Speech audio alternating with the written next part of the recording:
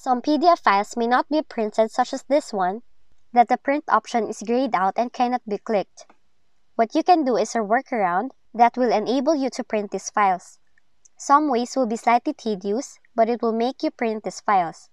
Nonetheless, here are some steps you can follow if you wish to print the file. The first method is to upload your PDF file on your Google Drive. Do this by clicking on New and then select New File. And then upload the PDF file you need. Open it and print it from there. This second method is a bit more tedious, but this is another solution that will help you to print non-printable PDF documents. Start by opening up your PDF file, and then begin with the first page. Then what you will do is print screen the first page of the document by holding on the Windows key, and then press Print Screen key on Windows, and then Command-Shift-3 on Mac. Open up Paint or any other image editing program, and then press Ctrl V to paste the content of page 1 into the program.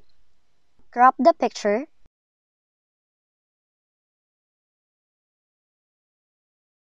and then click File, and then press Print. This will print out page 1 of the non-printable PDF file. Repeat this process for each additional page until you print the entire file. The last method that you can do is if you have Adobe Professional Reader installed in your computer. To start, open Adobe Acrobat Pro application, then click on the File option, choose Properties, and then hit the Security tab.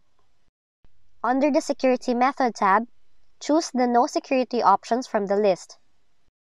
Then you will be asked to enter the permission password, therefore, you should note that you should know the password for the document.